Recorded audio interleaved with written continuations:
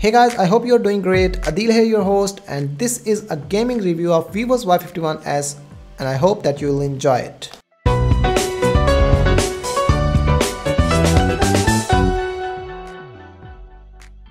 Before moving any further, you should know the key specs of this smartphone. It has 8GB of RAM with 128GB of internal storage and Snapdragon 662 is powering up its performance and the gaming performance is boosted by Adreno 610 GPU. Now without further ado, let's take a look at the gameplay and you're watching it on low frame rate at smooth graphic settings.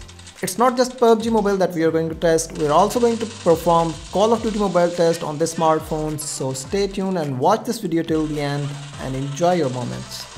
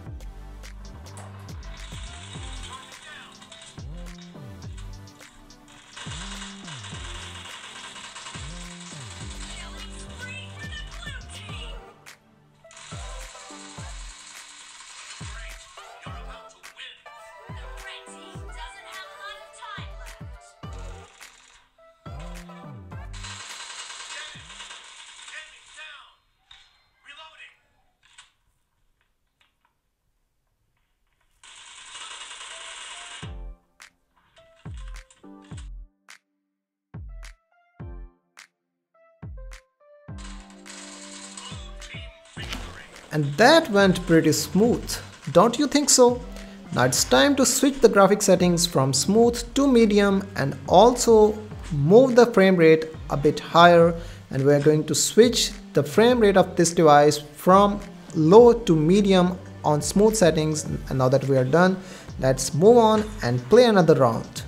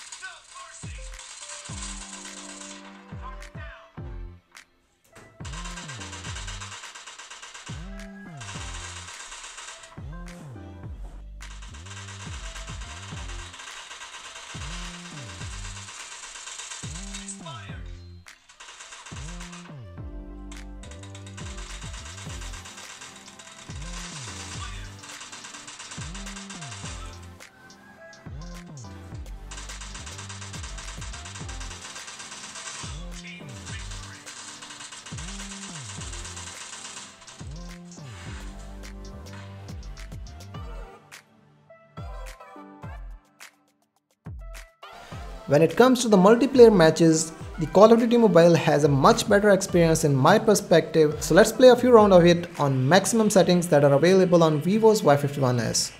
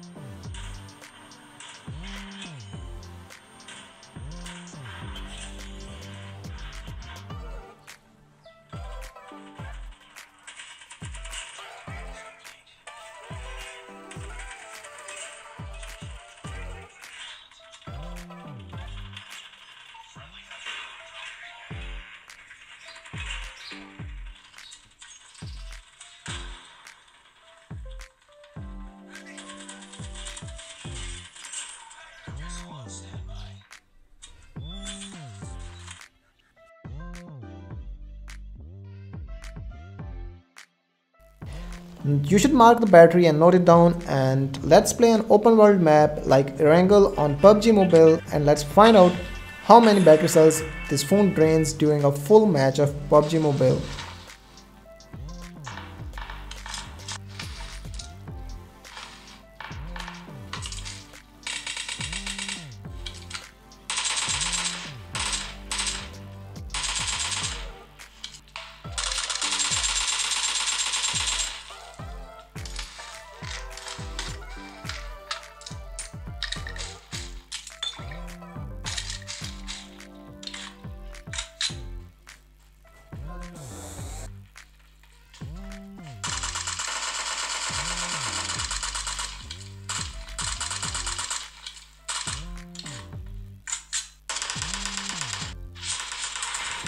That went pretty well and I was able to play 20 minutes of gameplay while losing the battery from 77% to the 73% that's almost 4% on a 20 minutes of match. And considering a full match is around 30 minutes you'll be losing almost 5 to 6% of battery if you somehow manage to survive that longer. So that's pretty much it from my end. Adeel signing off from TechWafer's platform and I'll see you in the next one. Peace out